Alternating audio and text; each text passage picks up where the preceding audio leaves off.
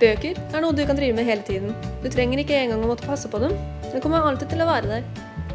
Selv om du har lyst til å drive med noe annet. De kommer alle i forskjellige versjoner.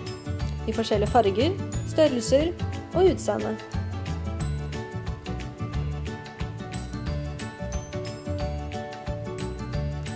Disse er bare en av få grunner til at jeg leser, og derfor anbefaler jeg at alle andre skal begynne å lese.